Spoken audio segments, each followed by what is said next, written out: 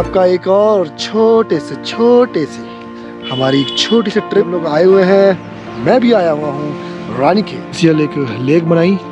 इसको आगे चल के एक टूरिस्ट प्लेस बना दिया गया। फ़िलहाल यहाँ पे रानी झील में कोई एंट्री फ़ीस नहीं होती है।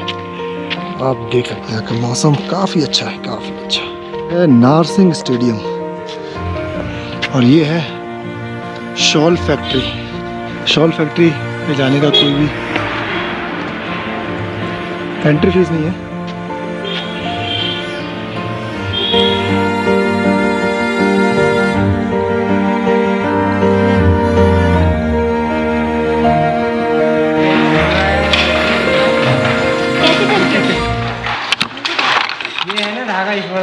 अच्छा अच्छा भर रहे हैं ना इसको इसमें लगाया फिर ये अच्छा ये उधर से उधर जा रहा है। हाँ, तो ये पूरा थ्रेड हो गया हाँ।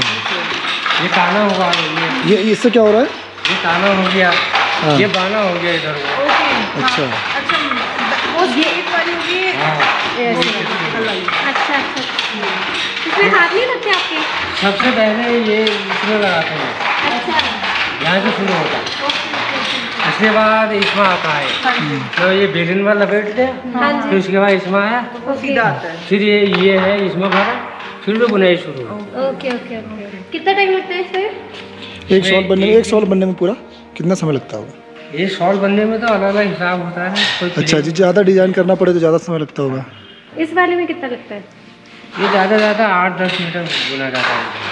कितना टाइम लगता है आपको बनाने में? समय समय दिन। एक दिन। लग जाता है? आठ दस मीटर और आपको मिलता कितना है इसको बनाने का? ये मीटर के हिसाब से मिलता है। कितना एक मीटर का? पचास रुपया साठ रुपया हाथ नहीं सकते इसमें? हाँ तो आप खरीदने वाले बड़ा आदत भी होती है अच्छा अब पैर से भी वो कर रहे हैं। हाँ। पैर से भी अब ये पैर से भी करना थोड़ा तो आप पाँव सब चलता है। हाँ।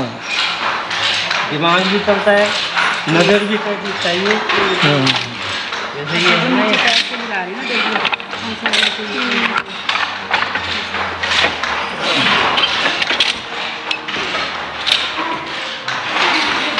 अब हाथ से बनता है। ये हाथ से बना रहे थे हाँ ये हाथ से डिज़ाइन बना रहे हैं।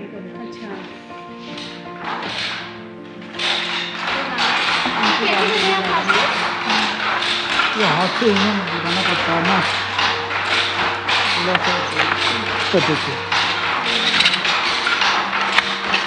है तो वही वो डिज़ाइन बना रहे हैं नहीं मतलब है तो ये उसी का ही है ना मगर डिज़ाइन बनाना है। वो कोट का कपड़ा है ये शॉल का कपड़ा है अच्छा अच्छा अच्छा। वो कोट का है। वो कोट का है। अच्छा।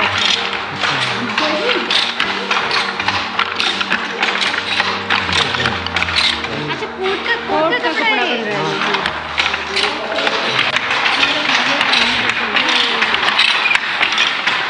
खेत के सबसे टॉप एरिया पे चौबटिया इस जगह को बोला जाता है सेवन स्टोन के नाम से जाना जाता है वैली व्यू पॉइंट सबसे लॉन्ग वैली दिखाई दे रही है। और यहाँ पे आपका समथिंग साढ़े तीन सौ किलोमीटर की समथिंग ये रेंज दिखाई दे रही है जिसमें आपका चार से पाँच जो है डिस्ट्रिक्ट पूरी यहाँ से आप देख सकते हैं खड़े होके।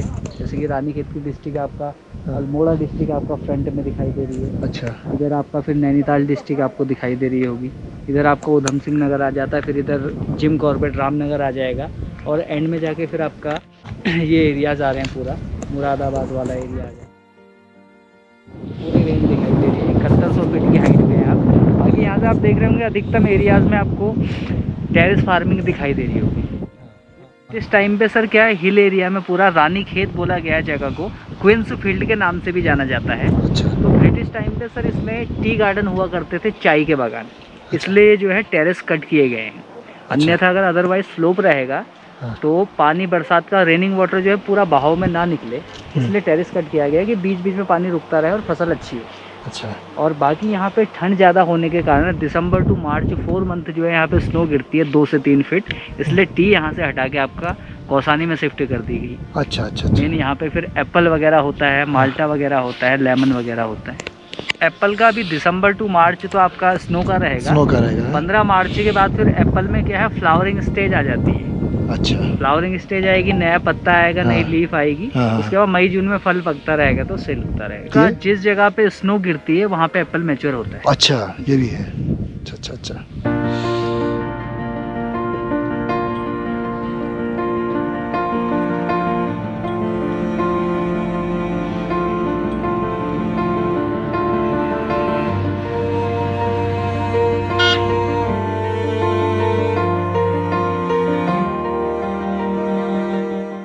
चौबटिया गार्डन है। चौबटिया गार्डन है सर।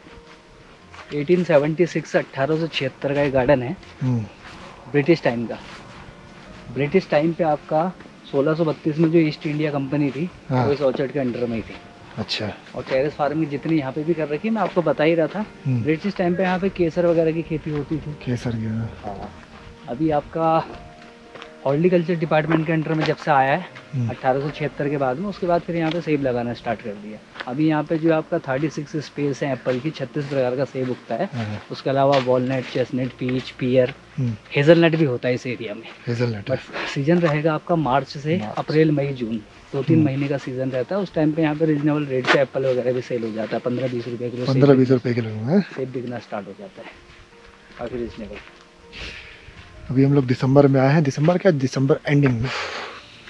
बाकी वेदर क्लियर रहने पर सर जो आप टॉप वाली रेंज देख रहे हैं हम्म, कुछ कुछ हमको वाइटनेस दिखाई दे रही है कहीं कहीं पे। हम्म, अगर वेदर टोटल क्लियर रहे तो ये आपका साढ़े तीन सौ किलोमीटर की स्नो पिक की रेंज है। बद्रीनाथ केदारनाथ पंचाचोली नीलकंठ नंदा देवी नंदाकोट मृतंग पहाड़ जितना भी है। बाकी एयर डिस्टेंस सर हमारा काफ़ी जो है नज़दीक है यहाँ से।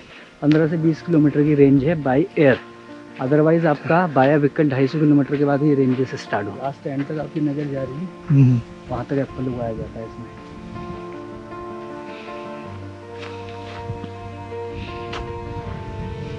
कोई- वाइल्ड लाइफ वगैरह हिरन वगैरह हिरन वगैरह। नुकसान ना हो फल वगैरह।